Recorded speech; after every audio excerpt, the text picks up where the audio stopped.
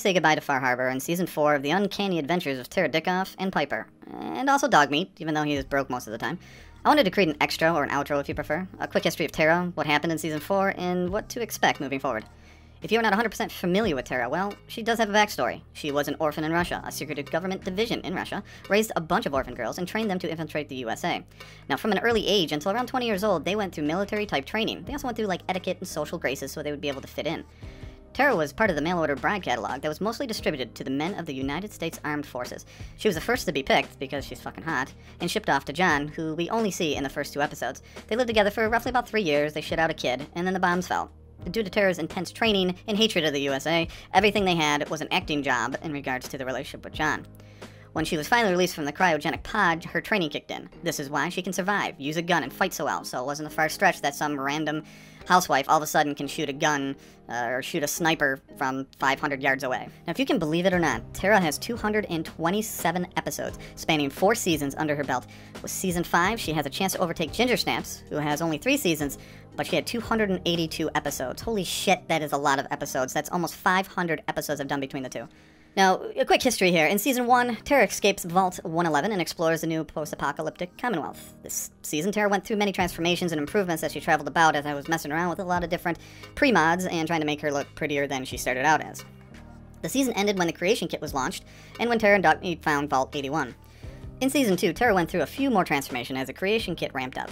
This included better character creation, new weapons, and we also found the armor that she wore for over 185 episodes, and it's called the Sirius armor. Now, it went through a couple different color combinations, but it's always been the same. The first one was black, the second one is red, and now going into Season 5, it is going to be... you're just going to have to watch and find out. Now, she also started to team up with Piper, who she eventually fell in love with.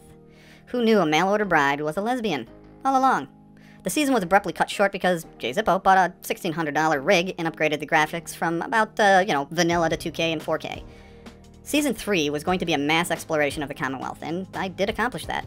Piper found one of the best armors ever to grace the series, and she wore it throughout Season 3. Eventually, we had Dogmeat to tag along with to round out the trio. This season ended when we realized we have pretty much explored everything we can in the Commonwealth. Season 4 was dedicated to Far Harbor. The trio continued, and Miss Dickoff's outfit changed from black to red.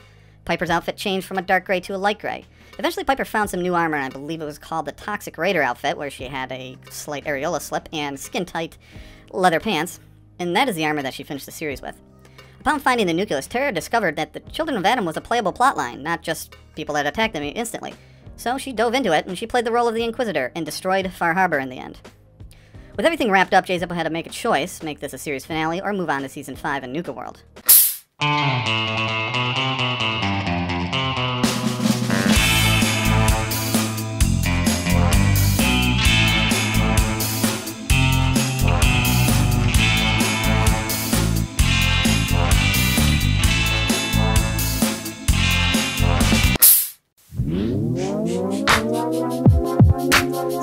Surprise. Fallout 4 and Tara Dickoff is going into yet another season of debauchery, headshots, Piper creeping, and of course, poopy dick jokes. That's my favorite.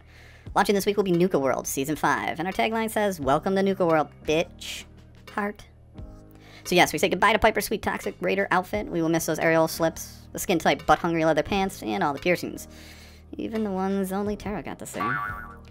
Look in the description below or in the ending credits for the link to the entire Season 4 series. Thank you for watching, and we'll see you in Nuka World. Bitch.